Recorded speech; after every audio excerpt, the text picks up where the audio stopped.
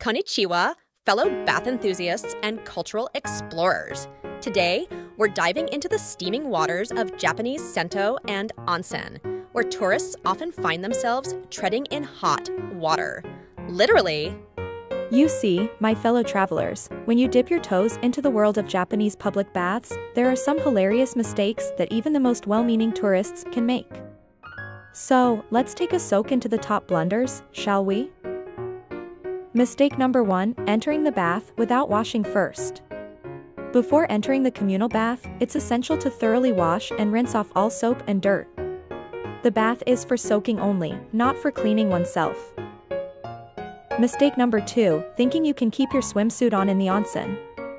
Oh, dear tourists, Japan is a land of tradition, and that means stripping down to your birthday suit before taking the plunge.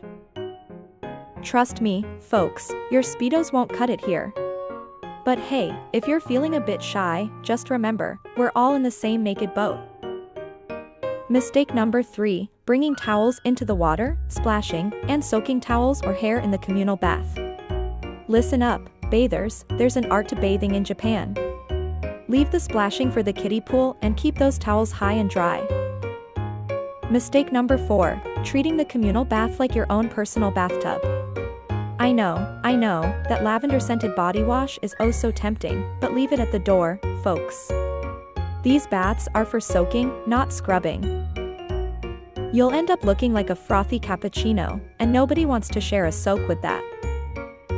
And finally, mistake number 5, not covering your tattoos. Now, I know your tribal sleeve is a work of art, but in Japan, tattoos are still seen as a bit taboo, especially in traditional settings like the onsen. So unless you want to be mistaken for a member of the Yakuza, it might be time to invest in some waterproof cover-up. So there you have it, folks. The top mistakes tourists make when visiting Japanese public baths. But hey, don't let the fear of faux pas keep you from experiencing the wonders of the onsen and sento. Just remember to leave your inhibitions and your bathing suits at the door. Here's to making a splash the Japanese way. Kanpai.